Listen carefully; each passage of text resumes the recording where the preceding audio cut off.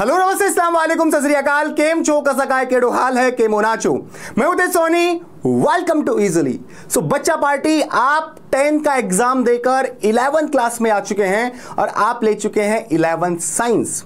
और आपके पास में है प्यारा सा प्रारंभ बैच, जो कि मैंने बड़े ही दिल से आप लोगों के लिए बनाया है। अब, जब आप टेंथ क्लास से निकल के इलेवेंथ क्लास में आते हैं तो बहुत सारी बातें हैं जो मुझे आपसे भी करनी है, क्योंकि पढ़ाना is important but first lecture है तो मैं कुछ बातें आपसे थोड़ी सी शेयर करना चाहूँगा दस एक मिनट तो बेटा, बात यह है, क्योंकि जब टेंथ क्लास से आप आते हो हो सकता है कुछ बच्चे ऐसे हो जिनके 95 परसेंट हो 96 परसेंट हो। अब वो चीज़ वो लेके बैठे हुए कि मेरे 96 परसेंट है, मेरे से इंटेलिजेंट कोई नहीं है, वो इलेवंथ क्लास में आते हैं। हो सकता है उनके 75 परसेंट हो जाए 65 परसेंट हो जाए, या इलेवंथ उनको समझ में आनी बंद हो जाए। तो ये टेंथ में आपका क्रैमिंग से, रटने से काम चल जाता है और आपके मार्क्स आ जाते हैं। पर भैया, इलेवंथ क्लास में आपको हर चीज़ समझनी पड़ेगी। हो सकता है आपके टेंथ क्लास में कोई बच्चा जिसके 65 परसेंट है 50 परसेंट है, हो सकता है इलेवंथ क्लास में उसके अच्छे नंबर आने लग जाएँ। क्योंकि उसका जो दिमाग था वो समझने वाला था, वो चीज़ों को समझता था ऑब्ज़र्व करता था। तो अब उसके, उसने समझना स्टार्ट किया इलेवंथ क्लास में, उसको अच्छा लगने लग गया तो उसके मार्क्स आने लग गए। तो मैं यही कहना चाहता हूँ, आप चीज़ों को ऑब्ज़र्व करना है आपके आसपास, जो भी हो रही है। क्योंकि साइंस ऐसा सब्जेक्ट है, जहाँ पर आपको चीज़ों को ऑब्ज़र्व करना पड़ेगा। आपके आसपास में क्या हो रहा है, उन चीज़ों को देखना पड़ेगा। समझ रहे हो? क्योंकि हम फिजिक्स पढ़ने वाले हैं तो मैं आपका जो सब्जेक्ट लेने वाला हूँ, वो फिजिक्स लेने वाला हूँ। यहाँ पे फ़र्स्ट चैप्टर आपका हो जाता है फ़िज़िकल वर्ल्ड ठीक है? पर हम जो स्टार्ट करेंगे, वो स्टार्ट करेंगे, कौन सा चैप्टर कहाँ से स्टार्ट करेंगे हम? यूनिट एंड मेज़रमेंट ये आपका लेक्चर वन रहेगा प्रारंभ बैच का। सर क्यों? फ़िज़िकल वर्ल्ड क्यों नहीं? बेटा फ़िज़िकल वर्ल्ड फ़र्स्ट चैप्टर है तीन से चार पन्ने एनसीआरटी में है पर एक कमाल की बात यह है कि अभी तक नीट में उससे कोई क्वेश्चन नहीं आता और ना ही आपके सीबीएसई बोर्ड में आए हैं। ठीक है? सो so, वहाँ से कोई क्वेश्चन नहीं आते हैं। उसे जो फ़िज़िकल वर्ल्ड जो चैप्टर है उसके अंदर आपके क्या है? जो साइंटिस्ट हैं उन साइंटिस्ट लोगों ने जो इन्वेंशंस करी हैं जो प्रिंसिपल्स दिए हैं जो लॉज दिए उसके बारे में उस चैप्टर में लिखा हुआ है। ठीक है ना? तो वो बातें भी हम, ऐसा नहीं कि हम उसको पढ़ाएँगे नहीं, पढ़ाएँगे, पर पहला लेक्चर है तो मैं चाहता नहीं पहला लेक्चर हम उससे स्टार्ट करें, हम चाहते पहला लेक्चर हम यूनिट एंड मेज़रमेंट से स्टार्ट करें। तो बस यही रीजन है छोटा सा, ठीक है? अब कुछ बातें जो आपको ध्यान रखनी है। मैं आपको पढ़ाऊँगा, आपके पास वीडियो लेक्चर्स आएँगे, आपको वीडियो लेक्चर अच्छे से देखना है। उसके बाद में अपने नोट्स आपको बनाने हैं। नोट्स बनाना मत भूलना बेटा नोट्स बनाने हैं। उसके बाद में आपको डीपीपी मिलेगी, उन डीपीपी क्वेश्चंस को आपको सॉल्व करना है। और ये बहुत इंपॉर्टेंट होता है। डीपीपी क्वेश्चन सॉल्व करना, बच्चे नहीं करते हैं सॉल्व और बैकलॉग रह जाता है। प्रैक्टिस अच्छे से हो नहीं पाती तो न्यूमेरिकल सॉल्व नहीं हो पाते। तो ये बहुत ज़रूरी है बैकलॉग नहीं रहना चाहिए। इसलिए हमने आपको सैटरडे का और संडे का टाइम आपके खुद की सेल्फ स्टडी के लिए दिया है। तो साइंस में self study is very very very important ये बेटा, अच्छे से दिमाग में बिठा लेना। ठीक है? डीपीपी सॉल्व करनी है डाउट्स पूछने हैं। समझ में आया? तो वापस ही वीडियो देख लिया, फिर भी समझ में डाउट्स पूछना है। तो डाउट ज़रूर पूछना है बेटा। क्वेश्चन ज़रूर सॉल्व करने हैं। और जैसे जैसे लेक्चर आगे बढ़ेगा, वैसे वैसे मैं आपको बहुत से टिप्स एंड ट्रिक्स देता जाऊँगा, कैसे हमको पढ़ना है, क्या करना है, किस तरह की आपको दिक्कतें आ रही हैं, उन पर वीडियोज़ लगातार आपके पास में आते रहेंगे। खैर, अब हम स्टार्ट करते हैं हमारा first chapter which is unit and measurement so भाई, सबसे पहले मैं आपसे सवाल पूछूँ कि भाई सर फिजिक्स क्या है? अगर आपसे पूछा जाए कि भाई फिजिक्स क्या होती है? फिजिक्स क्या है? है ना? देखो सिंपल सी भाषा में बात करता हूँ मैं, है ना? ताकि आपको अच्छे समझ में आए। अगर मैं एक लाइन बोलूँ कि study of nature is physics मैं कहता हूँ स्टडी ऑफ़ नेचर क्या? स्टडी ऑफ़ नेचर ये समझ लो बस। खत्म बात। यहीं पे बात खत्म हो जाती है आपकी। तो भाई, किसकी स्टडी बच्चा? नेचर की स्टडी किसकी स्टडी गोलूज नेचर की जो स्टडी होती है उसे ही हम क्या कहते हैं? फिजिक्स कहते हैं। तो नेचर में क्या हो रहा है? नेचर के लॉज कैसे हैं? उन चीज़ों की स्टडी नेचर के बारे में स्टडी नेचर को जानना ही फिजिक्स है। सो so भाई, अगर फिजिक्स पढ़नी है नेचर के बारे में जानना है तो हमें ऑब्जर्वेशंस पे ध्यान देना पड़ेगा। किन पे ध्यान देना पड़ेगा? ऑब्जर्वेशंस पे ध्यान देना पड़ेगा। ये मैं बात बात कर रहा हूँ आपसे। ऑब्ज़र्व करना पड़ेगा।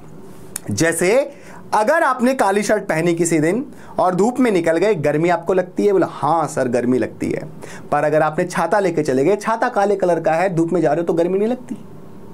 आपको गर्म चाय अच्छी लगती है, ठंडी नहीं लगती। क्यों? आप बोर्ड के ऊपर चौक से लिख पाओगे, पर आप लकड़ी के टुकड़े से नहीं लिख सकते। क्यों? इसके पीछे फिजिक्स है। तो मैं अगर अब से लेकर शाम तक मैं बोलता रहूँ ना तो फिजिक्स की परिभाषा खत्म नहीं होगी। फिजिक्स का गुणगान अगर मैं करता रहूँ तो वो गुणगान कभी खत्म नहीं होने वाला है। इतना प्यारा सब्जेक्ट है फिजिक्स, और इतना सिंपल सब्जेक्ट है। मतलब अगर आप इसको अच्छे से पढ़ोगे ऑब्ज़र्व करके पढ़ोगे, चीज़ों को नोटिस करके पढ़ोगे, मन से पढ़ोगे तो आम की तरह रस निकलता है। और ज़बरदस्ती पढ़ने की कोशिश करोगे, रटने की इसको कोशिश करोगे तो फिर ये नीरस है। रटना नहीं है, पहला नियम। आपको फिजिक्स में कुछ भी नहीं रटना। बायोलॉजी हाँ आप रट सकते हैं, बहुत सारे नाम होंगे उसमें, वो आप रटिए, पर फिजिक्स को रटना मत शुरू कर देना। नहीं तो दिक्कतें हो जाएँगी, वो आपको खा जाएगा। समझना स्टार्ट करिए। हो सकता है दस दिन दिक्कत आए, बीस दिन दिक्कत आए, पर आप फिर उसमें ढल जाएँगे। तो समझना शुरू करिए। कोई भी चीज़ समझ नहीं आए तो वापस से उसको पढ़ने को सोचिए, सोचने की ऑब्ज़र्व करने की कोशिश करिए, चीज़ें आपको समझ में आएँगी। ठीक है ना? सो व्हाट इज़ फिजिक्स बच्चा party? Study of nature nature की स्टडी क्या कहलाती है? फिजिक्स कहलाती है। और फिजिक्स पढ़ने के लिए हमें ऑब्ज़र्व करना पड़ता है। हमारे आसपास क्या क्या हो रहा है? बात समझ आ रही है? अच्छा ठीक है, सर, हमको फिजिक्स समझ में आ गया फिजिक्स क्या चीज़ है। अब फिजिक्स पढ़ने के लिए फिजिक्स पढ़ने के लिए बेटा हमको क्या करना पड़ेगा? हमको पढ़ना पड़ेगा कुछ छोटी छोटी बातें। तो ये जो लेक्चर रहेगा, इस लेक्चर में हम क्या क्या कवर करेंगे? देखो, अभी लेक्चर वन में। तो हम फ़िज़िकल क्वांटिटीज के बारे में जानेंगे इंट्रोडक्शन टू मेज़रमेंट के बारे में जानेंगे यूनिट के बारे में जानेंगे प्रॉपर्टीज़ ऑफ़ यूनिट के बारे में जानेंगे सिस्टम ऑफ़ यूनिट के बारे में जानेंगे और टाइप ऑफ़ फ़िज़िकल क्वांटिटीज के बारे में जानेंगे। ठीक है? सो हम स्टार्ट करते हैं सबसे पहले कि भाई फ़िज़िकल क्वांटिटी क्या देखो, आपको अगर दिख रहा हो, यहाँ पर एक आपके पास में मीटर इंच जो है, वो है। मतलब इंच वाला आपके पास एक मीटर है। टेप है आपके पास में ये। सो so, ये हो गया घड़ी हो गई ये आपके पास में मीटर हो गए चीज़ों को मेजर करने के काम आ रहे हैं। तो इंस्ट्रूमेंट है है ना? तो भाई अगर मैं आपसे पूछूँ फ़िज़िकल क्वांटिटी क्या है तो देखो ऐसी कुछ क्वांटिटीज हैं जिनको हम मेजर कर सकते हैं इंस्ट्रूमेंट्स के थ्रू ठीक है ना? जैसे मान लो, इसके थ्रू हम लेंथ मेजर कर सकते हैं, इसके थ्रू हम टाइम मेजर कर सकते हैं, ठीक है ना? इसके थ्रू हम करंट मेजर कर सकते हैं। समझ रहे हो बात को? सो so, मतलब ऐसी कोई भी क्वांटिटी ऐसी कोई भी क्वांटिटी जिसको आप क्या कर सकते हो? मेजर कर सकते हो। किसके द्वारा?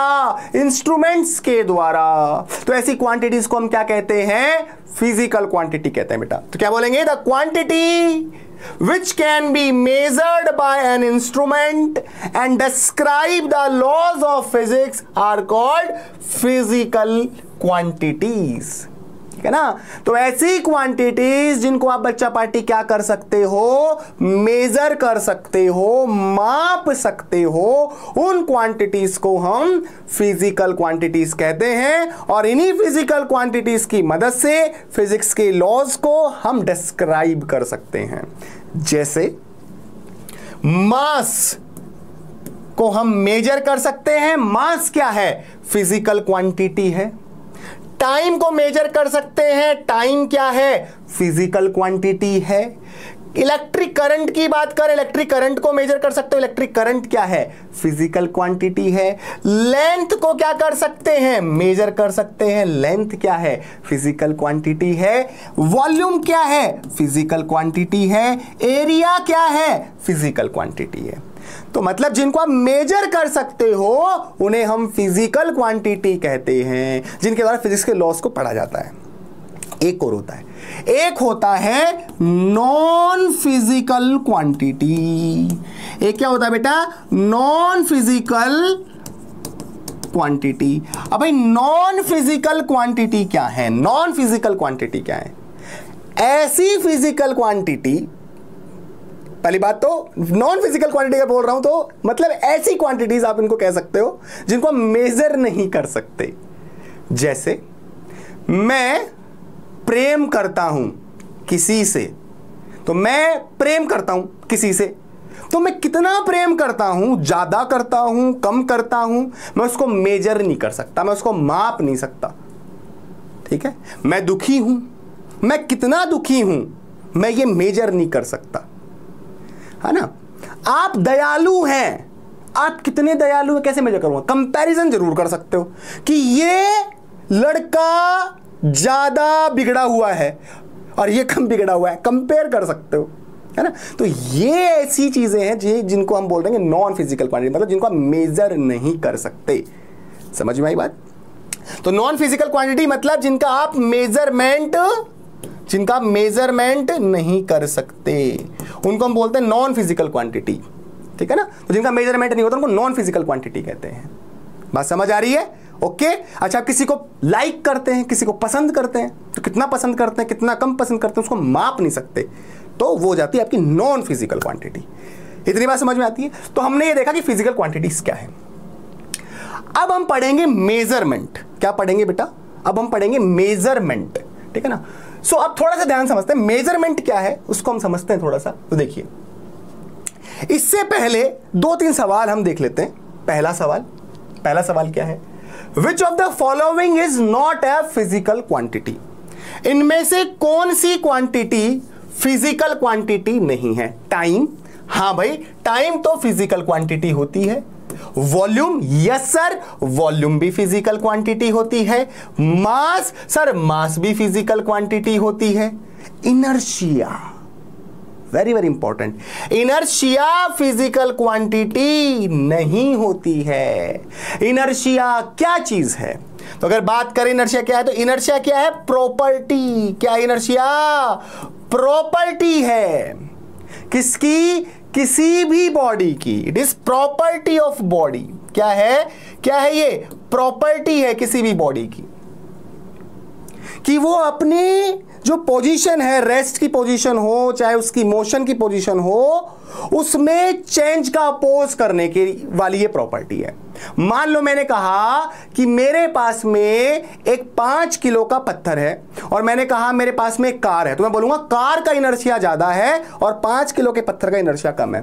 क्योंकि कार को हिलाने में, उसकी पोजीशन चेंज करने में रेस्ट वाली अगर पोजीशन में वो है, उसको चेंज करने में मुझे ज़्यादा फोर्स लगाना पड़ेगा। पर पाँच किलो के पत्थर को मुझे हिलाने में, उसकी पोजीशन जो है रेस्ट वाली, उसको हटाने में मुझे कम मेहनत करनी पड़ेगी। है ना? तो ऐसी प्रॉपर्टी बॉडी की, जिसकी वजह से ऑब्जेक्ट अपनी पोजीशन स्टेट ऑफ़ पोजीशन है ना? चाहे वो रेस्ट वाली हो, चाहे वो मोशन वाली हो, उसमें वो अपोज करे। उसमें चेंज का अपोज करे। उसको हम बोलते हैं इनर्शिया सो इनर्शिया जो है, वो प्रॉपर्टी है बॉडी की। हाँ, पर अगर मास ज़्यादा होगा तो आप कह सकते हो कि ये जो प्रॉपर्टी है बॉडी की मतलब इनर्शिया जो है, वो ज़्यादा होगा। और भाई, अगर मास क्या है बेटा? मास अगर कम है तो ये जो प्रॉपर्टी है बॉडी की, जिसको आप इनर्शिया कह रहे हो, वो इनर्शिया क्या होगा? कम होगा। पर inertia is not a physical quantity inertia को आप मेजर नहीं कर सकते हो, क्योंकि इनर्शिया तो एक प्रॉपर्टी है। प्यार एक प्रॉपर्टी हो गई ना किसी इंसान की कि वो कितना प्यार करता है। दुखी है वो मतलब ये आदमी दुखी रहता है मतलब ये इसकी प्रॉपर्टी हो गई, दुखी रहता है वो। जैसे गाय है, गाय क्या है? दयालु रहती है, किसी को मारती नहीं है। तो उसकी प्रॉपर्टी है, शेर आक्रामक होता है तो वो उसकी क्या एक प्रॉपर्टी है? तो आप उसको माप नहीं सकते भाई शेर कितना आक्रामक है। या कितना कम आक्रामक है, वो कंपेयर नहीं कर सकते तो ये प्रॉपर्टीज़ होती हैं। ठीक है ना? तो ये फ़िज़िकल क्वांटिटी नहीं है।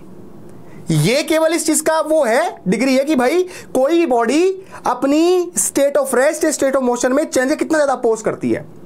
तो ज़्यादा पोज करती है, इसका मतलब उसका इनर्शिया ज़्यादा है। और मास अगर ज़्यादा होता तो ये प्रॉपर्टी भी ज़्यादा होती है, आप कह सकते हो।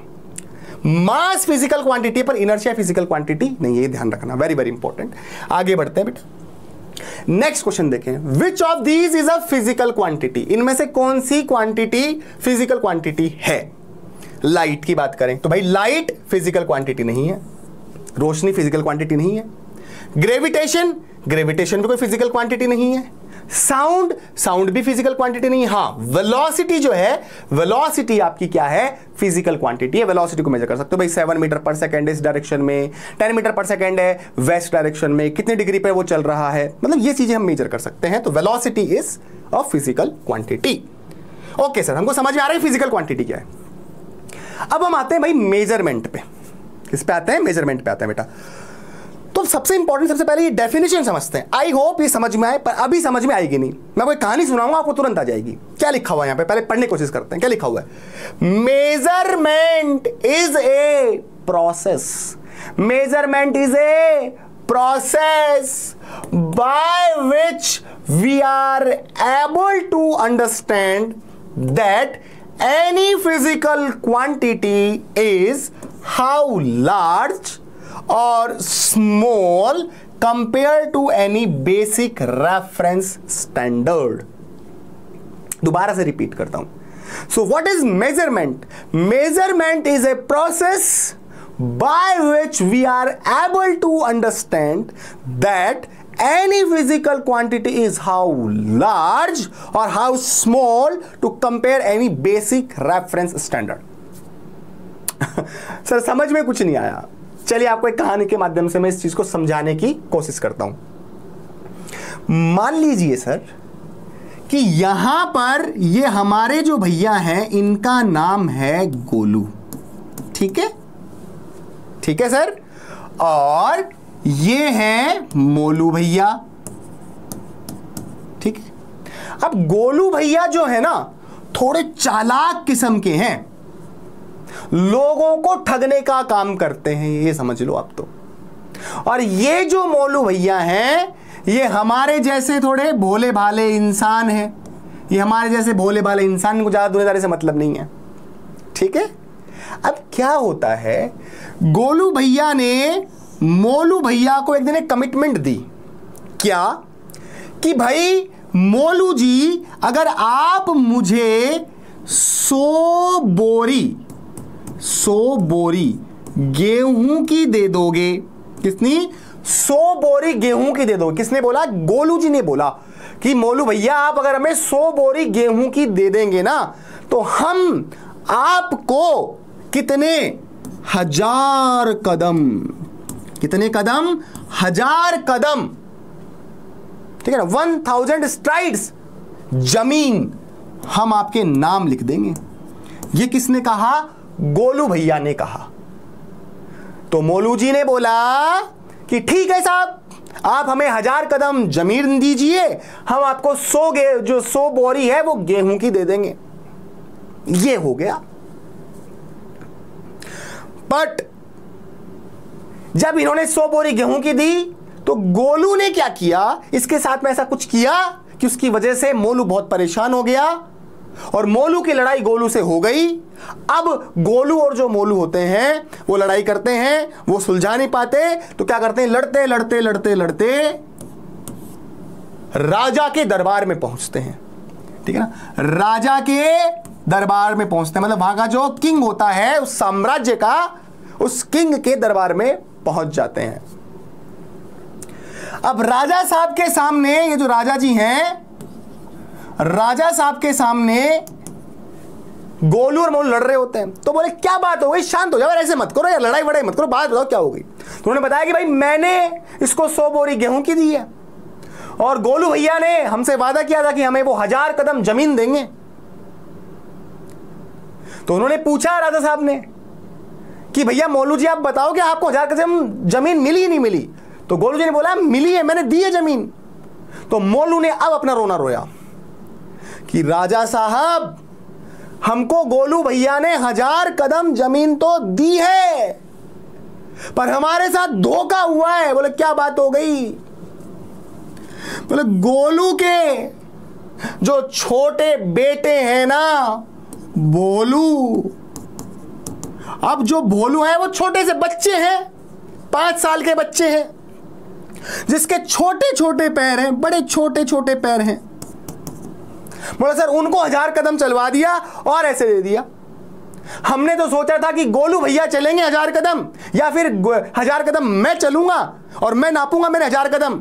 और उतनी ज़मीन मेरी होगी, पर इन्होंने तो हमारे साथ में क्या कर दिया कि छोटे जो इनके बच्चे हैं, छोटे जो बेटे हैं, भोलू जी, उनको हज़ार कदम चलवा दिया इन्होंने और वो हज़ार कदम की बात कर रही हैं। सर, ऐसे थोड़ी चलेगा। हम्म अब प्रॉब्लम जो है, राजा साहब को समझ में आ गई। तो इसने तो अपना कमिटमेंट पूरा कर दिया। इसने तो हज़ार कदम ज़मीन दे दी, पर छोटे जो इसका बेटा था, जो जिसके छोटे छोटे पैर थे छोटे छोटे पैर थे, वो दिया। तो यहाँ पे प्रॉब्लम फंस गई। राजा भाई साहब को समझ में आ गया कि भाई गड़बड़ तो हो रही है साम्राज्य में। क्योंकि उसी दौरान इनके पास में ऐसा ही एक केस और आया था। और वो केस क्या था? उस केस में क्या हुआ था कि भाई साहब, वहाँ पे साम्राज्य में एक चालाक किस्म का एक इंसान था, व्यापारी था। चालाक किस्म का एक व्यापारी था। ठीक है ना? चालाक किस्म का एक व्यापारी था बिजनेसमैन था। वो लोगों को ठगी का काम करता था, ठगता था वो लोगों को। ठीक है? कपड़े का वो धंधा करता था, कपड़े का धंधा करता था वो।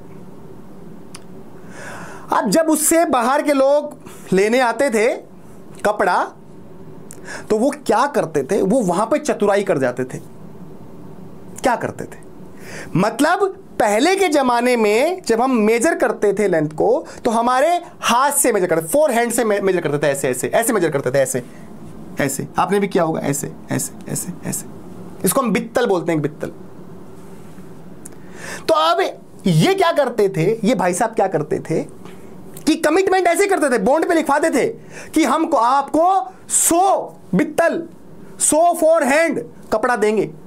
पर जब मपवाने की बात आती तो ये भाई साहब भी जो है, इनकी कॉपी कर रहे होते थे।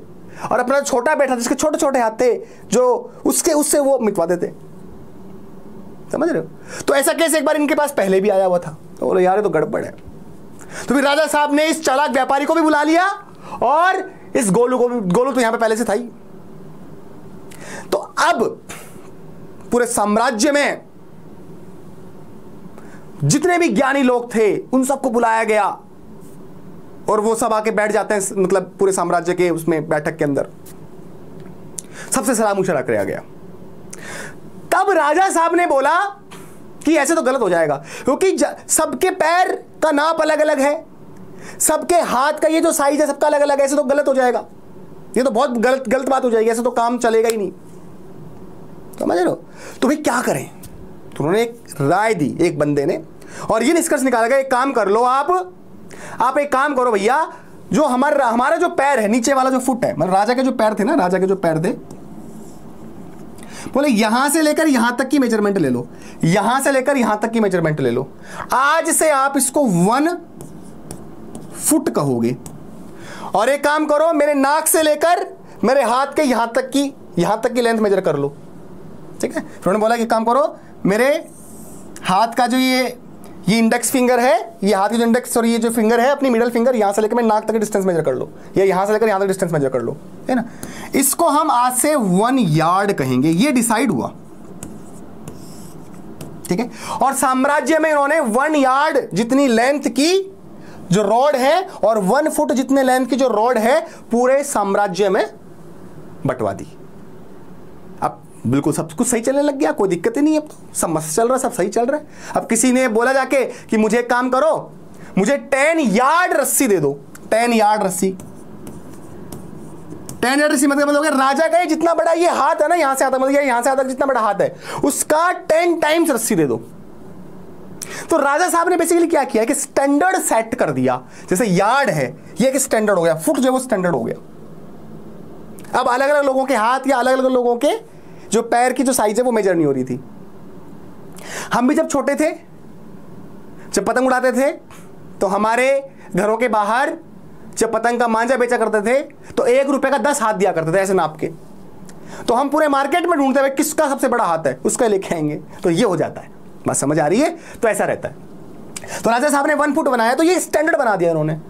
अब मेरे को कहा कि मुझे दस फुट रस्सी चाहिए। तो फुट को फुट तो हो गया आपका सिंगलर प्लूरल में इसको फिट बोल देते हैं। टेन फीट रस्सी चाहिए। समझ रहे हो? Ten feet. सो मतलब राजा का जितना बड़ा पैर है उसका दस गुना उसको रस्सी चाहिए। तो हमने ये स्टैंडर्ड सेट हो गया।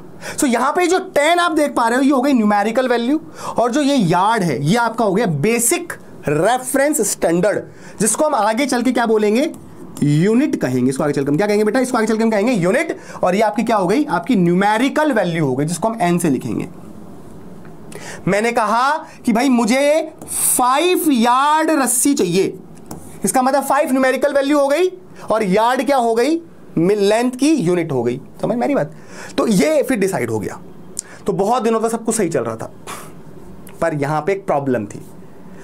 क्योंकि साइंटिस्ट तो भाई साइंटिस्ट होते हैं।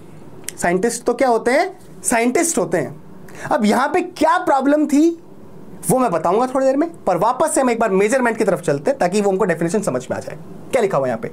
So measurement is a process by which we are able to understand that any physical quantity कोई physical quantity is how large कितनी बड़ी है और हाउ स्मॉल कितनी छोटी है। वो मैं पता लग जाए compare to basic reference standard है ना? सो so, भाई साहब ये कहानी हुई थी। सो so, भाई साहब हमारे जो राजा थे ना उस टाइम ये बहुत चालाक राजा भी बहुत होशियार हुआ करता था ना। तो इनके साथ में पता उन्होंने क्या बदला निकाला? व्यापारी के सामने क्योंकि व्यापारी की चालाकी समझ में आ गई व्यापारी जो छोटे बेटे से नपवा रहा था और बांट रहा था। तो उन्होंने बोला कि एक काम करते हैं या तो तुम इस देश से निकल जाओ नहीं तो हमारे जो राम सिंह हैं उनके वज़न जितना कपड़ा तोल के लोगों में बांट दो। तो उन्होंने सोचा, वाह, राम सिंह तो जो है, राजा साहब का जो है बच्चा है, ग्यारह साल का बच्चा है, कोई दिक्कत नहीं है, मैं तो इससे ज़्यादा और ठगी करके और पैसे बना लूँगा। पर जब मापने की बारी आई, तोलने की बारी आई तो वो जो राम सिंह जो नाम था, राम सिंह नाम का उस राजा का बहुत बड़ा हाथी हुआ करता था। तो उन्होंने भी चला के खेल राजा साहब ने भी। केवल शब्दों में गए वो भी। तो अब बोलो रे मैं तो बर्बाद हो गया। हाथी के बराबर कपड़ा माप के वज़न का जितना कपड़ा माप के देना पड़ेगा। तो मतलब इस तरीके से कहानी है। समझ आई तो यहाँ पे गड़बड़ हुआ करती थी। तो मैं बताऊँगा आपको एक है तो पहले समझो दोबारा से एक बार, वापस समझते हैं। तो measurement is a process by which we are able to understand that any physical quantity is how large और small compare to any basic reference standard तो बेसिक जो रेफरेंस स्टैंडर्ड जैसे यार्ड था फुट था, उससे वो कितना गुना बड़ी है, कितना गुना छोटी है। ये अंदाज़ा लग जाता है मेज़रमेंट से। बात समझ आई? पर यहाँ पे एक प्रॉब्लम थी। क्योंकि साइंटिस्ट तो भाई साइंटिस्ट होते हैं। उन्होंने सोचा कि यार मान लो राजा मर गया, ठीक? और जितनी भी रॉड बनवाई रखी हैं अपने साम्राज्य में वन फुट की या वन यार्ड की जो भी बना रखी है, और मान लो भूकंप आ गया, कोई त्रासदी हो गई, और वो सारी रॉड खत्म हो गई तो अब वन यार्ड कहाँ से लेके आओगे? अब आप वापस से वन फुट कहाँ से लेके आओगे? दिक्कत आ गई ना? राजा खत्म हो गया, और भूकंप मान लो, सब कुछ आ गया, और वो सारी रोड सारी खत्म हो गई अब कैसे करोगे? तो कहने का मतलब ये सामने आई चीज़ हमारे कि जो यूनिट होती है, जो ये बेसिक रेफरेंस स्टैंडर्ड हमको ऐसा लेना चाहिए जिसको हम रिप्रोड्यूस कर पाए, दोबारा बना पाए। बात समझ आ रही है? बात समझ आ रही है मेरी? हाँ। तो साइंटिस्ट ने सोचा, फिर एक जुगाड़ निकाला। मैं आपको मैं केवल एक एग्जांपल बता रहा हूँ लेंथ का। उन्होंने क्या बोला कि जो अर्थ है ना भाई, और उसका जो नॉर्थ पोल है जो साउथ पोल है, उसको उन्होंने क्या किया, बहुत छोटे छोटे छोटे छोटे छोटे छोटे छोटे छोटे छोटे छोटे भागों में डिवाइड किया। और इसका one upon tenth million part कितना? One upon tenth million part one upon tenth million part जो था, उसको क्या कहा गया कि भाई इसको आज से हम क्या कहेंगे? वन मीटर कहेंगे। ये फिर डिसाइड होता है। मान लो अगर राजा वाजा भी अगर खत्म हो जाते हैं, वो सारी रॉड वगैरह खत्म हो जाती है तो भाई लेंथ कैसे मेजर करेंगे फिर? तो आपने कहा भाई, जो अर्थ है, इसका नॉर्थ पोल से साउथ पोल तक जो डिस्टेंस उसको बहुत छोटे टुकड़ों में बांट दिया गया, और उस इनका वन अपॉइंट टेंथ मिलियन जो भाग है, उसको आज वन मीटर कहीं डिसाइड हो गया। पर भैया साइंटिस्ट वापस साइंटिस्ट होते हैं। उन्होंने सोचा, कितना पॉल्यूशन बढ़ रहा है, चीज़ें बढ़ रही है, मान लो अर्थ भी नहीं रही। तो इंसानों किसी दूसरे ग्रह पर जाकर रहना पड़ा तो मंगल ग्रह पर जाकर रहना पड़ा तो तो फिर बाद में वन मीटर कैसे बनाओगे? क्या होगा? तो इसलिए जो अब है अब जो स्टैंडर्ड है मीटर को मेजर करने का जो कि आपके एनसीआरटी में भी लिखा हुआ है वो मैं आपको बता रहा हूँ। डेफिनेशन वो भी सिंपल भाषा में। सो अब हम वन मीटर किस कहते, किसे कहते हैं? या अब स्टैंडर्ड किसे लिया गया? अब जो स्टैंडर्ड है वो लिया जा रहा है लाइट के थ्रू मतलब लाइट के थ्रू मतलब? अब ये कहा जाता है कि लाइट ध्यान सुनना बेटा light one upon three into ten to the power eight इतने सेकंड में। लाइट इतने सेकंड में, जितना डिस्टेंस जितना डिस्टेंस कवर कर जाएगी, उस डिस्टेंस को हम क्या कहेंगे? वन मीटर कहेंगे। अब ये डेफिनेशन है वन मीटर की। ठीक है? तो कहाँ से कहाँ हम पहुँचे आप ये समझिए। So light one upon three the power eight इतने सेकंड में जितना दूरी चल जाती है, उसको हम वन मीटर कह रहे हैं। अब भाई लाइट खत्म हो गया। लाइट नहीं रहा तो इंसान भी नहीं रहेगा। और इंसान नहीं है तो वन मीटर का कोई मतलब नहीं है। वन के जी का कोई मतलब नहीं फिर तो किसी चीज़ का कोई मतलब ही नहीं है। तो ये अभी तक हमने बनाया है। तो ऐसे हम यूनिट बनाते हैं। ऐसे हम मेज़रमेंट करते हैं। ठीक है ना? तो चीज़ों को मापना बहुत ज़रूरी हो जाता है हमारे लिए। और जब मापने की बारी आती है तो हम बेसिक जो रेफरेंस स्टैंडर्ड होता है, उसको इस तरीके से डिज़ाइन करते हैं कि उसको रिप्रोड्यूस कर सकें। और उस बेसिक रेफरेंस स्टैंडर्ड को ही हम कहते हैं बच्चा पार्टी, क्या? यूनिट ठीक है? जैसे मैंने लिखा टेन के जी सो ये क्या हो गया टेन के जी एक मेज़रमेंट है। किसका मेज़रमेंट है? मास का। ठीक है? जहाँ पे टेन न्यूमेरिकल वैल्यू और के जी आपकी हो गई यूनिट अगर मैंने कहा क्या हज़ार मीटर? तो हज़ार मीटर इसका मतलब हज़ार न्यूमेरिकल वैल्यू और मीटर यूनिट हो गई। तो ये आपके लेंथ का एक मेज़रमेंट हो गया। बस समझ आ रही है? सो so, ये चीज़ें बहुत इंपॉर्टेंट है। तो मेज़रमेंट में दो चीज़ होती है भाई। मेज़रमेंट में कितने चीज़ें होती हैं? मेज़रमेंट में दो चीज़ होती हैं। पहली तो न्यूमेरिकल वैल्यू और दूसरी यूनिट और जब आप न्यूमेरिकल वैल्यू और यूनिट को एक साथ लिखते हो तो ये चीज़ क्या रहती है? कॉन्स्टेंट रहती है. ये चीज़ क्या रहती है बेटा? कॉन्स्टेंट रहती है। इसको थोड़ा सा समझते हैं जैसे मैं आपको समझाता हूँ। मान लो मैंने वन के लिखा तो मैं वन के को क्या लिख सकता हूँ? हज़ार ग्राम लिख सकता हूँ। आई होप इतना जो मेज़रमेंट है थोड़ा बहुत आपने नाइन टेंथ में छोटी क्लासों में पढ़ा है। पढ़ा है? इसलिए। सो so, यहाँ पर न्यूमेरिकल वैल्यू क्या है? एन वन मान लो यूनिट को मैं क्या बोल रहा हूँ? यू वन यहाँ पर न्यूमेरिकल वैल्यू क्या हो गई? हज़ार. इसको मैंने एन टू कहा. न्यूमेरिकल वैल्यू हो गई एन टू जो कि हज़ार, और यूनिट हो गई आपकी यू टू ग्राम तो ये दोनों बराबर है क्या? बोले हाँ सर, बराबर है। इसका मतलब एन वन यू वन बराबर एन टू यू टू होना चाहिए, और ये क्या रहता है? कॉन्स्टेंट रहता है। बात समझ आई बेटे? बोला हाँ सर। ठीक है? सो मेज़रमेंट में दो चीज़ न्यूमेरिकल वैल्यू और यूनिट और इन दोनों का इस तरीके से लिखते हैं क्या होता है कांस्टेंट रहता है। जैसे मैंने आपको ये एग्जांपल देके बताया, और उसको अपन पढ़ेंगे अच्छे से, पर थोड़ा सा ध्यान समझिए इसको। एन वन यू वन बराबर एन टू यू टू बराबर कॉन्स्टेंट ठीक है? छोटे छोटे सवाल यहाँ से पूछ जा सकते हैं। जैसे पहला, अगर मैं आपसे बोलूँ कि मेरे को आप ग्राफ बना के बताइए किसमें एन में और यू में। आप मुझे ग्राफ बना के बताइए किस किसमें एन यू और एन में। और तीसरा सवाल पूछा, क्या मुझे ग्राफ बना के बताइए एन यू और यू में। ठीक है? सो यहाँ से अगर आप ध्यान से देखेंगे तो यहाँ से हम क्या निकाल पा रहे हैं? निष्कर्ष की N is inversely proportional to U. इसको क्या पढ़ता है अपन? N is inversely proportional to U. क्योंकि कांस्टेंट है नीचे जाएगा इस तरीके से। मतलब देखो दो चीज़। मान लो अगर मैंने इसको ऐसा लिखा, इसको क्या पढ़ेंगे? A is proportional to B इसके मायने क्या होते हैं बेटा? कि अगर ए इंक्रीज हो रहा है तो बी भी इंक्रीज होगा। और इसको क्या पढ़ेंगे? इसको पढ़ेंगे A is inversely proportional to B इसका मतलब क्या हो गए? कि भाई अगर ए घट रहा है तो बी बढ़ेगा। मतलब अगर बी को बढ़ा दिया तो ए घटेगा, और बी को घटा दिया बी को घटा दिया तो ए बढ़ेगा। ये इनवर्सली प्रोपोर्शनल का मतलब होता है। तो मतलब ये हो गया कि न्यूमेरिकल न्यूमेरिकल वैल्यू और यू जो यूनिट है, वो एंटी प्रोपोर्शनल मतलब यूनिट जितनी बड़ी यूनिट जितनी लार्ज होगी, यूनिट जितनी क्या होगी? लार्ज होगी। तो उसका न्यूमेरिकल वैल्यू उतना ही क्या होगा? स्मॉल होगा। और न्यूमेरिकल वैल्यू जितनी स्मॉल होगी, उसका न्यूमेरिकल वैल्यू सॉरी यूनिट जितना स्मॉल होगा, उसकी न्यूमेरिकल वैल्यू उतनी ही क्या होगी? लार्ज होगी।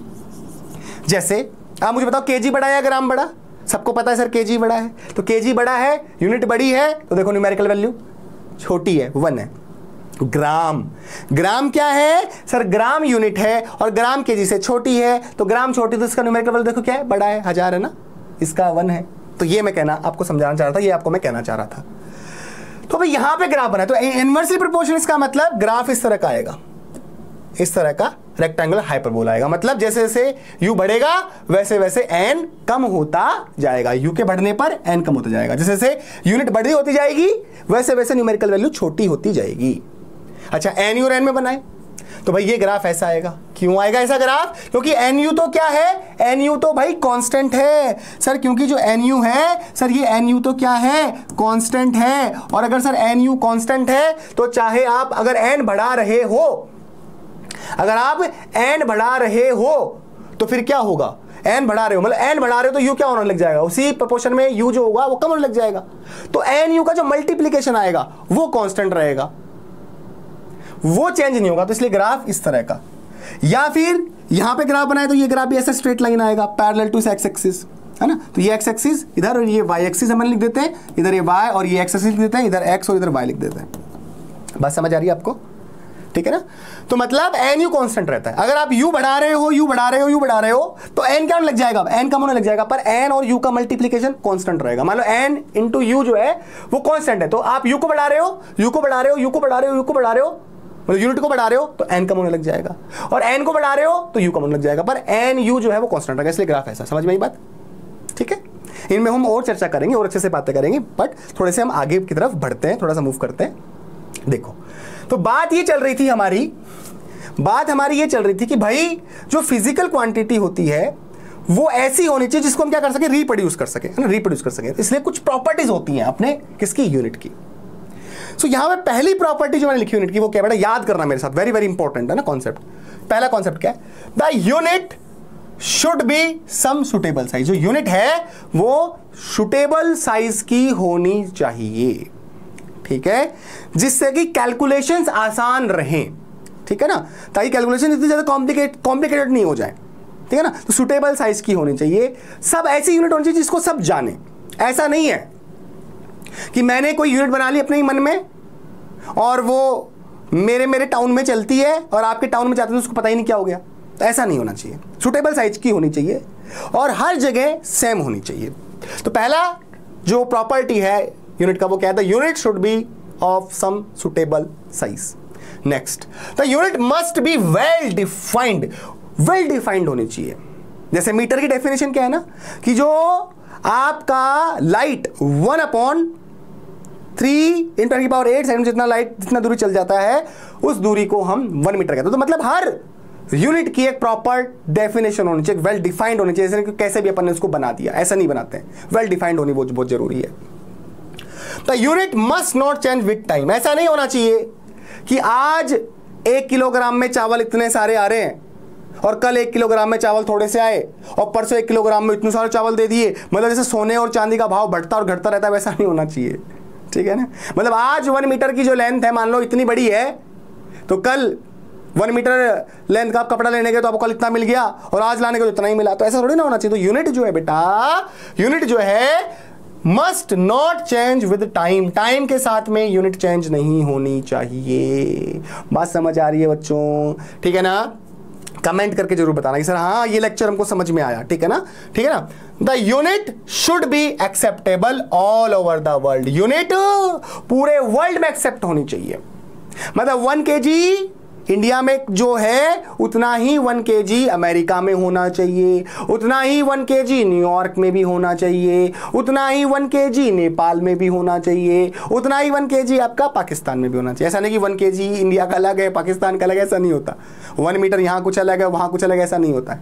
All over the world acceptable होनी चाहिए। एंड सबसे इंपॉर्टेंट मतलब unit should not change with physical conditions like temperature pressure तो ऐसा नहीं कि टेम्परेचर या प्रेशर पे आपकी जो यूनिट है वो डिपेंड करे, ऐसा नहीं होना चाहिए। मतलब ऐसा नहीं है कि प्रेशर बढ़ गया।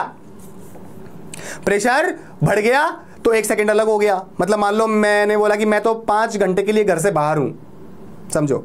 और कहीं पे गर्मी ज़्यादा है तो कहाँ, कहीं पे अगर गर्मी ज़्यादा तो कहा, क्या वहाँ का पाँच घंटा और कहीं पे गर्मी का बाद क्या, वहाँ का पाँच घंटा अलग होगा क्या?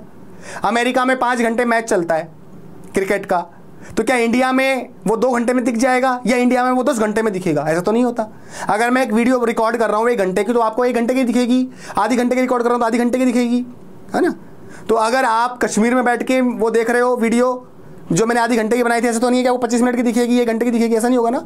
तो यही बात है। तो unit should not change with physical condition like temperature pressure ठीक है ना? तो भाई ये कहानी होती है। और सबसे इंपॉर्टेंट बात जो मैं समझा रहा था बार बार को आपको, कि यूनिट रिप्रोड्यूसेबल होनी चाहिए। यहाँ पे आप नोट कर सकते हैं, जो यूनिट है वो ऐसी होनी चाहिए जिसको आप रिप्रोड्यूस कर सकें। रिप्रोड्यूसेबल होनी चाहिए। Unit must be reproducible unit ऐसी बनानी है जो रिप्रोड्यूस हो सके। सो आई होप आपको यूनिट की ये कहानी जो है, वो समझ में आई होगी। ठीक है? सो भाई, दोबारा से देख लेते हैं एक बार अपन ने क्या क्या बात करी। हमने क्या क्या बात करी है बेटा? हमने बात करी कि भाई फ़िज़िकल क्वांटिटीज ऐसी क्वांटिटीज होती है जिनको आप मेजर कर सकते हो। कुछ ऐसी क्वांटिटीज होती है जिनको मेजर नहीं कर सकते। तो उनको नॉन फ़िज़िकल क्वांटिटीज कहते हैं। जैसे टाइम है फ़िज़िकल क्वांटिटी है वॉल्यूम फ़िज़िकल क्वांटिटी है मास फ़िज़िकल क्वांटिटी पर इनर्शिया फ़िज़िकल क्वांटिटी नहीं है। ये प्रॉपर्टी है बॉडी की। ठीक है ना? ऐसे ही लाइट ग्रेविशन साउंड ये फ़िज़िकल क्वांटिटी नहीं है, पर वेलोसिटी क्या फ़िज़िकल क्वांटिटी है? ठीक है ना? काइंडनेस फ़िज़िकल क्वांटिटी नहीं है। व्हाट इज़ मेज़रमेंट तो measurement is a process by which we are able to understand that any physical quantity is how large कितनी बड़ी है, या कितनी स्मॉल है to compare any basic reference standard and that basic reference standard is our unit fine okay sir यहाँ तक की बात हमने कर ली। आगे फिर मैंने बताया कि जो आपका एन इंटू यू है, वो कांस्टेंट होता है। यूनिट जितनी बड़ी होगी न्यूमेरिकल वैल्यू उतनी छोटी जैसे केजी बड़ा है तो न्यूमेरिकल वैल्यू छोटा है। यूनिट छोटा है तो न्यूमेरिकल वैल्यू बड़ा है। ठीक है ना? ये हमने पढ़ा। बोला, ओके सर, बहुत बढ़िया। इसके बाद में हमने प्रॉपर्टीज़ ऑफ़ यूनिट पढ़ी। अब थोड़ा सा और लेक्चर को आगे लेके चलते हैं। अब हम पढ़ेंगे सिस्टम ऑफ़ यूनिट अब हम क्या पढ़ेंगे? सिस्टम ऑफ़ यूनिट ओके अगर 1960 से पहले की बात करो तो तीन सिस्टम चलते थे एमकेएस सीजीएस एफपीएस एमकेएस वो सिस्टम है जिसमें मास किसमें? किलोग्राम में मेजर होता था। किसमें? किलोग्राम में। तो उसका सिंबल लिख रहा हूँ, किलोग्राम का सिंबल क्या होता है? केजी ठीक है? और लेंथ किसमें मेजर होती थी? मीटर में मेजर होती थी, जिसका सिंबल मैंने एम लिखा है। और टाइम किसमें मेजर होता था? सेकंड में मेजर होता था। तो मैंने सेकंड का लिख दिया सिंबल। तो ऐसा सिस्टम ऑफ़ यूनिट जिसमें मास केजी में, लेंथ मीटर में, टाइम सेकंड में मेजर होता है, उसे हम एम के सिस्टम कहेंगे। एम का मतलब मीटर के का मतलब किलोग्राम एस का मतलब सेकंड। ऐसे सीरियस मतलब सेंटीमीटर ग्राम सेकंड। तो मतलब लेंथ जिसमें सेंटीमीटर में मेजर होती हो, मास जिसमें ग्राम में मेजर होता हो, टाइम जिसमें सेकंड में मेजर होता हो, उसे हम क्या कहते हैं? सीजीएस सिस्टम कहते हैं। और ऐसे ही एफपीएस क्या हो जाएगा? जिसमें फुट पाउंड सेकेंड मतलब लेंथ किसमें? फुट में मेजर होती हो। और आपका जो मास है, वो पाउंड में मेजर होता हो और समय सेकंड में मेजर होता हो तो उसे हम एफपीएस सिस्टम कहते हैं। बट 1960 के बाद में बहुत सारे साइंटिस्ट एक साथ बैठते हैं, वो एक अपनी एक मीटिंग करते हैं और उस मीटिंग करने के बाद में वो लेके आते हैं आपके सामने एसआई सिस्टम सिस्टम इंटरनेशनल जो हर जगह आपको देखने को मिलेगा। तो इंटरनेशनली एक जैसी होनी चाहिए। तो अभी भी कई जगह पाउंड का यूज़ होता है विदेशों के अंदर। हमारे यहाँ नहीं करते, हम केजी में यूज़ करते हैं मास को। तो पर ये कह रहा हूँ कि सिस्टम इंटरनेशनल ऐसा सिस्टम सब लोग सब साइंटिस्ट बैठे उन्होंने डिसाइड किया कि हम ऐसे ही अब से आगे से यूनिट्स को पढ़ेंगे। ऐसे ही हम यूनिट्स को पढ़ेंगे ताकि हम मेज़रमेंट हम आसानी से कर पाए। हमारे जो व्यापार के अंदर, जो लेन देन के अंदर जो चीज़ें हो रही हैं, है ना, सब यूनिट सेम रहेगी तो व्यापार में आसानी रहेगी। हम सब लोग एक दूसरे को समझ पाएँगे कि भाई कितना किलो सामान गया, कितना के सामान आया तो ये सब चीज़ें। ठीक है ना? तो ऐसा ही सिस्टम की अगर बात करते हैं, और ऐसा सिस्टम में अगर हम क्वांटिटीज को देखें तो क्वांटिटीज तीन तरह की। और क्वांटिटीज तीन तरह की तो इनकी यूनिट भी तीन तरह की हो गई। ठीक है ना? तो एक हो गया फंडामेंटल यूनिट एक हो गया डिराइव्ड यूनिट और एक हो गया सप्लीमेंट्री यूनिट ऐसे क्वांटिटीज पर जाते हो तो फंडामेंटल क्वांटिटीज डिराइव्ड क्वांटिटीज और सप्लीमेंट्री क्वांटिटीज हो जाएँगी। तो जो आपकी जो क्वांटिटीज हैं, ऐसे सिस्टम के बाद में हम कैसे पढ़ रहे हैं? फंडामेंटल क्वांटिटीज पढ़ते हैं हम। हम डिराइव्ड क्वांटिटीज पढ़ते हैं, हम सप्लीमेंट्री क्वांटिटीज पढ़ते हैं। अब इनको समझने की कोशिश करेंगे कि ये फंडामेंटल डिराइव्ड सप्लीमेंट्री क्वांटिटीज क्या है या इनकी यूनिट्स क्या है? इनको हम थोड़ा सा समझते हैं। तो ये नाइनटीन की बात की है। ठीक है? और जो ऐसा ही है उसमें भी मास आपका केजी में लेंथ मीटर में और टाइम सेकंड में किया जाता है। पर कुछ साइंटिस्ट को सम्मान देने के लिए हम उनके नाम के जो है, हमने यूनिट बना जैसे आपको बताऊँ, न्यूटन। किसका यूनिट है न्यूटन? फोर्स का। ठीक है ना? तो न्यूटन भाई साहब जो है, न्यूटन जो सर है हमारे, उनके सम्मान में हमने फोर्स यूनिट न्यूटन बना दी। एम्पियर साइंटिस्ट का नाम है। करंट का यूनिट एम्पियर बना दिया। जूल साइंटिस्ट का नाम है। एनर्जी की जो यूनिट है, वो हमने जूल बना दी उनके सम्मान में। तो फिर ये हमने यहाँ पे इंट्रोड्यूस करी। ठीक है? ऐसा ही में। चलिए, आगे बढ़ते हैं। तो सबसे पहले हम जानने की कोशिश करेंगे कि फंडामेंटल क्वांटिटी और उनके यूनिट क्या तो सबसे पहले हम जानेंगे कि फंडामेंटल क्वांटिटीज क्या होती है। भाई फंडामेंटल क्वांटिटीज हैं क्या? उन पर सर चर्चा करिए। तो फंडामेंटल क्वांटिटीज बोल रहा हूँ तो उनकी यूनिट क्या हो जाएँगी? फंडामेंटल यूनिट हो जाएँगी। तो फंडामेंटल क्वांटिटी समझो क्या होती है। ऐसी क्वांटिटीज जो किसी दूसरी फ़िज़िकल क्वांटिटी पर डिपेंड नहीं करती, लिख लेना अपनी कॉपी में। ऐसी फ़िज़िकल क्वांटिटीज जो किसी दूसरी फ़िज़िकल क्वांटिटीज पर क्या नहीं करती हूँ डिपेंड नहीं करती हूँ। इंडिपेंडेंट हूँ, दूसरी फ़िज़िकल क्वांटिटी से। उनको हम फंडामेंटल क्वांटिटीज कहते हैं। क्लियर और जिनको फंडामेंटल क्वांटिटीज की सहायता से डिराइव किया जाता है, उनको हम डिराइव्ड क्वांटिटीज कहते हैं। और सप्लीमेंट्री क्वांटिटी भी होती है, दो होती है, एक होती है एंगल और एक होती है आपका सॉलिड एंगल तो सप्लीमेंट्री क्वांटिटीज की बात कर रहे हो तो सप्लीमेंट्री क्वांटिटीज की बात करें तो दो होती हैं. एक बार आप नाम याद रखिए, इसको मैं पढ़ाऊँगा अच्छे से. एक होता है एंगल और एक आपका होता है सॉलिड एंगल ठीक है ना? तो ये चीज़ें हम पढ़ेंगे. जब हम बेसिक मैथमेटिक्स पढ़ रहे होंगे, तब हम पढ़ेंगे. देखो, अब सबसे इंपॉर्टेंट फिजिक्स में ये भी है मैथमेटिक्स बेसिक मैथमेटिक्स है ना? तो ये मैंने लेक्चर के बीच बीच में डाला हुआ। जहाँ जहाँ हमको काम आने वाला है, उससे पहले मैं आपको ये पढ़ाऊँगा। तो ऐसा नहीं सर हमको मैथमेटिक्स कमज़ोर है तो अपने पहले बेसिक मैथमेटिक्स के लेक्चर नहीं लिए, ऐसा नहीं है। तो मैंने लेक्चर्स के अंदर ही सेट किए हुए हैं, ठीक है ना? तो हम बेसिक मैथमेटिक्स जब पढ़ेंगे तो हम ये सब चीज़ें पढ़ेंगे। एंगल क्या होता है सॉलिड एंगल क्या होता है, सब मैं आपको पढ़ाऊँगा, अच्छे से पढ़ाऊँगा, कोई टेंशन नहीं है, ठीक है? तो भाई सप्लीमेंट्री क्वांटिटीज होती है एंगल और सॉलिड एंगल एंगल की यूनिट होती है आपकी रेडियन और सॉलिड एंगल की होती है स्टेरेडियन अब क्या है वो समझेंगे? वो हमारा भी पॉइंट नहीं है। पॉइंट हमारा ये है कि फंडामेंटल क्वांटिटीज क्या है। तो ऐसी क्वांटिटीज जो किसी दूसरी फ़िज़िकल क्वांटिटी पर डिपेंड नहीं करती उनको हम फंडामेंटल क्वांटिटी कहते हैं। जैसे फंडामेंटल क्वांटिटी कौन कौन सी होती है भाई? सात है आपकी। आपकी length mass time electric current temperature amount of substance luminous intensity तो ना तो लेंथ को डिराइव करते हैं मास के थ्रू ना मास को डिराइव करते हैं टाइम के थ्रू मतलब ये सब अपने आप में क्या है? इंडिपेंडेंट है। ठीक है ना? सो भाई साहब, ये ये जो सात है, इनको हम फंडामेंटल क्वांटिटीज कहते हैं। ये सात जो नाम देख रहे हैं आप, इनको अच्छे से याद कर लेना। कितनी होती है? सेवन होती है। पहला क्वेश्चन फंडामेंटल क्वांटिटीज कितनी है? सेवन तो फंडामेंटल यूनिट कितनी हुई? सेवन समझ में ठीक है ना? तो फंडामेंटल क्वांटिटी कितनी होती है आपकी? सेवन होती है। लेंथ का यूनिट मीटर होता है, मास का किलोग्राम होता है, टाइम का सेकंड होता है, इलेक्ट्रिक करंट का एम्पियर होता है, टेम्परेचर का यूनिट केल्विन होता है अमाउंट ऑफ़ सब्सटेंस सब्सटेंस का जो अमाउंट होता है, वो मोल होता है उसका यूनिट, और लुमिनियस इंटेंसिटी उसका यूनिट होता है आपका कैंडेला लुमिनियस इंटेंसिटी ये नया नाम आई होप आपने सुना होगा। जैसे मान लो आप एक बल्ब के सामने खड़े हैं, और बल्ब से बिल्कुल आप पास में हैं तो आपकी आँखों पे जो लाइट गिरेगा, उसकी जो ब्राइटनेस होगी, वो आपकी आँखों पे ज़्यादा आएगी। दूर होंगे तो कम ब्राइटनेस का लाइट आपके पर पहुंचेगा। तो ब्राइटनेस से आप मीनिंग समझिए इंटेंसिटी का। समझ रहे हो बात को? ज़्यादा ब्राइटनेस मतलब मोबाइल में ज़्यादा ब्राइटनेस कर दी मतलब ज़्यादा इंटेंसिटी का लाइट आपकी आँखों पे गिर रहा है। कम ब्राइटनेस कर दी तो कम इंटेंसिटी का लाइट कम ब्राइटनेस का लाइट आपकी आँखों पे गिर रहा है। और उसका जो यूनिट है दैट इज़ कैंडेला अब अगर इनके सिंपल देखें यूनिट का तो मीटर का एम होता है, किलोग्राम का केजी होता है, सेकंड का एस होता है, एम्पियर का कैपिटल ए होता है। ये नहीं होता। एम्पियर क्या होता है भाई? एम्पियर का कैपिटल ए होता है। और कैलविन का आपका क्या हो जाता है? के हो जाता है, मोल का एम ओ एल होता है, और कैंडले का सी डी होता है। बात समझ में आ गई? यहाँ तो कोई दिक्कत नहीं किसी बच्चे को। बोला, ठीक है, ये कैलविन।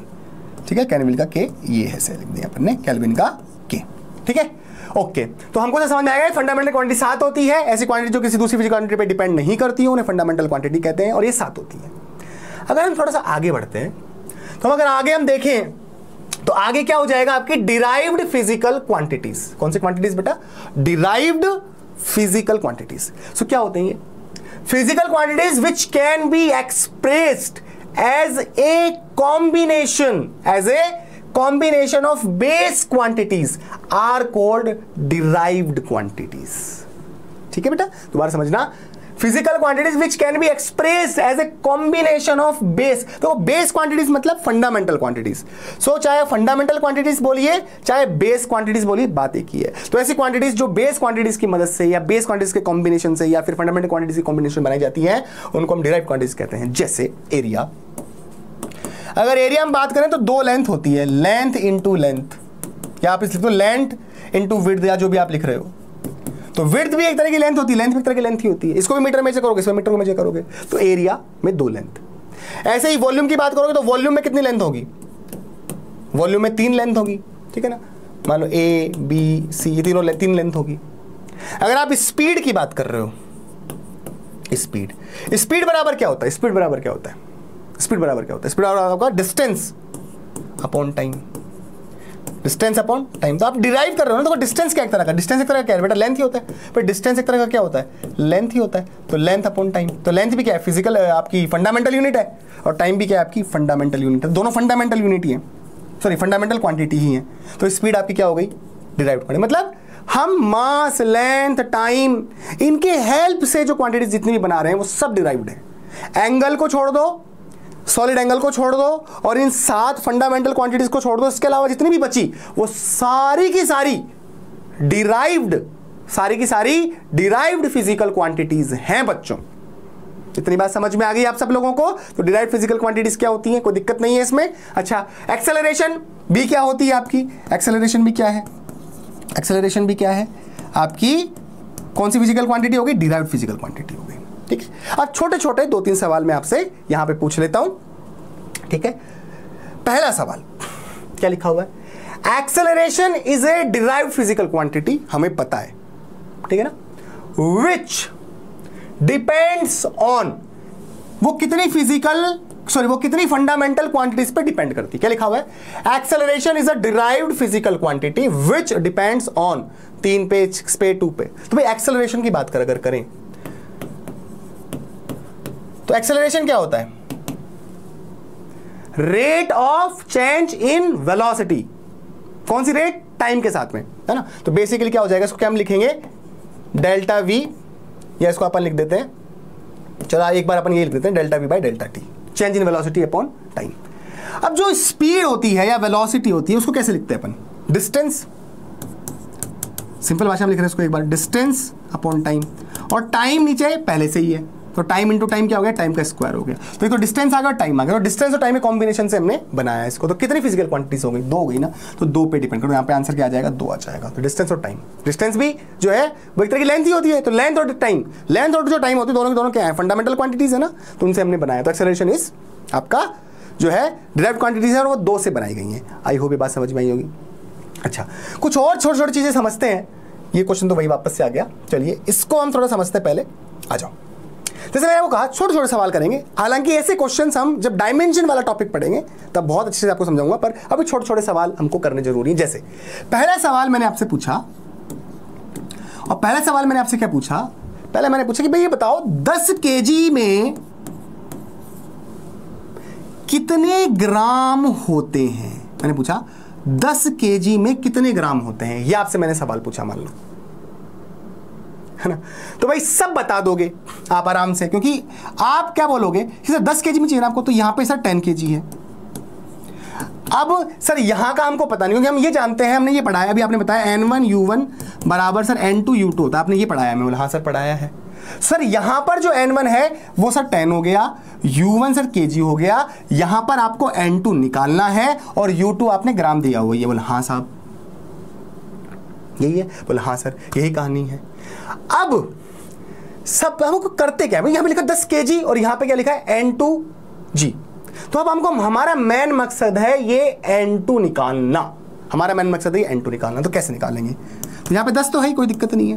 भाई, एक के जी की बात करें, किलोग्राम के जी की बात करें तो एक किलो का मतलब हो गया आपका हज़ार। तो इसको क्या लिखेंगे? ये हो गया आपका हज़ार ग्राम। है ना? तो एन टू जी जी से जी कट गया जी से जी कट गया। तो एन टू बराबर कितना आया? ये आपके पास आ गया ten to the power four. Ten to the power four. Ten to बराबर आपके पास आ गया टेन टू दावर फोर। तो भाई, कितना हो गया? आप क्या लिखोगे? आप लिखोगे दस के जी दस के जी बराबर टेन की पावर फोर ग्राम होते हैं। ये आप कह दोगे। बोले हाँ सर, कह देंगे। चलो एक छोटा सवाल पूछ। सिंपल सिंपल सवाल पूछते पहले। Simple simple simple simple. मैंने आपसे पूछा कि बेटा, एक बात बताओ। एक न्यूटन न्यूटन न्यूटन किसकी यूनिट है? फोर्स की यूनिट है। किसकी यूनिट है? फोर्स की यूनिट है ना? चलो इसको मैं एक न्यूटन चलो एक न्यूटन लेते हैं। एक न्यूटन में कितने डायन होते हैं? डायन क्या है? डायन क्या है? डायन क्या है? डायन क्या है? डायन फोर्स की यूनिट है। कौन सी सिस्टम में? सीजीएस सिस्टम में। ठीक है ना? और ये आपकी किसमें हो गई? आपकी एम के एस या एस आई में हो गई। ठीक है ना? मैं पूछा, एक न्यूटन में बताओ कितने डायन होते हैं? और न्यूटन और डायन किसकी यूनिट्स हो गई? आपकी फोर्स की यूनिट हो गई। किसकी यूनिट हो गई? फोर्स की यूनिट हो गई। अब इस सवाल को कैसे किया जाए? मैंने क्या सिखाया? मैंने सिखाया अभी तक आपको n one u one is equal to n two u two आपको मैंने इतना ही सिखाया अभी। बोला हाँ सर, इतना ही सिखाया आपने हमें अभी। तो भाई n one n one one n one one हो गया। और u one sir u one newton हो गया। और सर एन टू आपको चाहिए। और ये यू टू आपका हो गया डायन। बोला हाँ सर, हो गया, सही बात है। अब इस न्यूटन को तोड़ना है हमको, इसको अच्छे से लिखना है। देखो, ध्यान समझना। भाई फोर्स आपने पढ़ा होगा। फोर्स बराबर क्या पढ़ा? मास इंटू एक्सेलरेशन पढ़ा सर हाँ। मास की यूनिट क्या हो जाएगी? आपकी एम के एस में के जी और एक्सेलरेशन की क्या हो जाएगी? एक्सेलरेशन की हो जाएगी मीटर पर सेकेंड स्क्वायर मीटर पर सेकेंड स्क्वायर क्योंकि एक्सेलरेशन होता है वेलोसिटी अपॉन टाइम और वेलोसिटी की क्या होती है? मीटर पर सेकेंड और नीचे एक और टाइम जैसे समझो अगर एक्सेलरेशन की बात करो तो v अपॉन टी होता है। V की यूनिट क्या होती है? वेलोसिटी की। मीटर पर सेकंड होती है। और इस सेकंड की क्या हो जाएगी? और सेकंड हो जाएगी। तो सेकंड सेकंड मीटर पर सेकंड स्क्वायर समझ रहे हो ना? इसलिए। इतनी थोड़ी बहुत आपको आती होगी। ठीक है ना? तो के जी इंटू मीटर पर सेकंड तो ये हो गया आपका वन न्यूटन क्या लिख सकते हो? के जी मीटर सेकंड स्क्वायर लिख सकते हैं बोल। हाँ सर अच्छा डाइन डाइन किसमें है? फोर्थ यूनिट पर सीजीएस में है। सीजीएस में बेटा। किसमें सीजीएस में। तो सीजीएस में केजी की जगह क्या आएगा? ग्राम आएगा। मीटर की जगह क्या आएगा? सेंटीमीटर आएगा और सेकंड की जगह सेकंड ही आएगा। ठीक है ना? ये हमने ऐसे लिख दिया हम डायमेंशन जब पढ़ेंगे तो इससे भी सिंपल तरीका और पढ़ेंगे हम। पर अभी हम जनरल तरीका आपको बता रहा हूँ। जब डायमेंशन वाला पढ़ेंगे, तब तब उनसे भी हम इसी तरह क्वेश्चन को करना सीखेंगे। पर अभी खैर, हमने कुछ पढ़ा है तो थोड़ा सा हम करने की कोशिश करते हैं। जो बड़ी यूनिट है ना, उनको तोड़ना शुरू करते हैं। बड़ी जो यूनिट होती है के जी बड़ी तो इसको लिखो। ग्राम वाली को मत लिखो। दिक्कत हो जाती थोड़ी सी, है ना? तो के जी एक के जी में कितने ग्राम हज़ार ग्राम। छोटी छोटी बातें पता है, वही लिखना है, हज़ार ग्राम। एक मीटर में, एक मीटर में, एक मीटर में कितने सेंटीमीटर होते हैं? सौ सेंटीमीटर होते हैं। हाँ सर, सौ सेंटीमीटर होते हैं, लिख लिया। और सेकेंड स्क्वायर बोल हाँ सर। और एन टू और जी सेंटीमीटर, सेकंड स्क्वायर। अगर ध्यान से अगर बेटा देखोगे तो भाई क्या हो गया? ग्राम से ग्राम छम्मा छम्मा हो गया। सेंटीमीटर से सेंटीमीटर छम्मा छम्मा हो गया। सेकंड स्क्वायर सेकंड स्क्वायर छम्मा छम्मा हो गया। सो भाई आपका एन टू कितना बचा? टेन की पावर थ्री और टेन की पावर टू। तो तीन, चार, पाँच। तो टेन की पावर कितना आ गया? पाँच आ गया। तीन ये हो गया और दो ये हो गया। समझ रहे हो? तो कितना आगे की पावर पाँच आप क्या लिखोगे कि एक न्यूटन में, एक न्यूटन में टेन की पावर फाइव डाइन होते हैं। एक न्यूटन में ten to the power five dyne होते हैं। बात समझ आई? एक और सवाल करते हैं, एक और सवाल करते हैं। क्या सवाल? मैंने पूछा एक बार बताओ बेटा, एक जूल एक जूल जूल क्या होता है? एनर्जी की यूनिट होती है। जूल किसकी यूनिट होती है? एनर्जी की। एक जूल में कितने आर्ग होते हैं? आर्ग भी किसकी यूनिट है? एनर्जी की यूनिट है। तो आर्ग तो किसमें है? सीजीएस में है। आर्ग किसमें बेटे सीजीएस में होती है और जूल किसमें होती है? आपकी एसआई में होती है। ठीक है? अब करें इसको। हाँ सर। आपने जो सिखाया है, अभी ये सिखाया है एन वन यू वन बराबर n two u two sir, आपने ये सिखाया है मैं तो। हाँ। एन वन कितना है? सर वन और ये जूल एन टू कितना सर नहीं पता, और यू सर कितना है? अर्ग हाँ। भाई, सही बात है। अब थोड़ा समझते हैं। जूल किसकी यूनिट होती है भाई? सर, जूल जो है, वो सर आपकी एनर्जी की यूनिट है। एनर्जी मान लीजिए काइनेटिक एनर्जी ले लेते हैं। वो फॉर्मूला थोड़ा बहुत पढ़ा होगा आपने हाफ़ एम वी स्क्वायर बोला। हाँ सर। सर, यहाँ से अगर आप यूनिट लिख रहे हो एस आई में एम के एस में तो मास मास एम के एस में क्या होता है? सर के जी होता है। भाई हाफ़ तो कांस्टेंट है कांस्टेंट तो यूनिट नहीं होगी। और स्पीड की यूनिट क्या होती है? सर स्पीड की यूनिट होती है मीटर पर सेकेंड पर स्क्वायर लगा है तो इस पर भी स्क्वायर मतलब के metre square upon second square हो जाएगी। बोले हाँ। तो सर, एक जूल को क्या लिख सकते हो? एम केस में लिखा है ना? एक जूल को लिख सकते हो सर आप? K G metre square upon second square बोले, ठीक है सर। आगे सर एन टू चलने दो। अब अर्ग आ गया? आर्ग सीजीएस में है तो सीजीएस में केजी की जगह क्या आ जाएगा? ग्राम आ जाएगा। मीटर की जगह क्या आ जाएगा? सेंटीमीटर आ जाएगा। ठीक है ना? और सेकंड जगह आपका आ जाएगा। सेकंड ही रहता है यहाँ पे। और ठीक है सर अब जो बड़ी यूनिट होती है, उनको तोड़ना शुरू करते हैं अपन। ये करते हैं वन के में हज़ार ग्राम। एक के में हज़ार ग्राम। एक मीटर में सौ सेंटीमीटर इसका स्क्वायर ठीक है ना बेटा? अब अपॉन ये आपका सेकंड स्क्वायर देखो, यहाँ पे भी अपन ऐसे लिखा था मीटर जगह, सौ सेंटीमीटर समझ में तो यहाँ पे कट गया, यहाँ टेन की बार फाइव बचा था। यहाँ पे भी वही सेम प्रोसेस कर रहे हैं। ये ध्यान रखना, अलग नहीं है, सब कुछ सेम चल रहा है। ठीक है? बोला हाँ सर ठीक है। तो भाई, यहाँ पर ध्यान से देखो, ग्राम से ग्राम कट गया centimetre square centimetre square cut गया second square second square cut गया। ठीक है ना? तो कितना बचा, देखो? हज़ार तो ये हो गए। और टेन की पावर फोर ये हो गए क्योंकि सौ पर स्क्वायर है ना, इसलिए कितना हो गया? फोर और थ्री, सेवन हो गए। तो मतलब एक जूल में, एक जूल में टेन टू दावर सेवन अर्ग होते हैं भैया। ये होते तो हमने निकाल लिया। तो आई होप आई होप, आपको यहाँ तक का लेक्चर समझ में आया होगा। अब नेक्स्ट लेक्चर जब हम पढ़ेंगे तो उसमें हम लिखना सीखेंगे, वन न्यूटन कैसे लिखते हैं, वन जूल कैसे लिखते हैं। है ना? मीटर पर सेकंड छोटी मगर मोटी बातें करेंगे, जिस पे आपका ध्यान ही नहीं गया कभी, कि ये चीज़ें ध्यान में भी देना चाहिए, उस पर हम बात करेंगे। ठीक है? डायमेंशंस के बारे में जानेंगे। तब तक के लिए बच्चा party thank you so much अपना ध्यान रखिए और दूसरा वीडियो जो नेक्स्ट वाला लेक्चर टू आने वाला उसको देखना मत भूलिए। तब तक के लिए बाय टेक केयर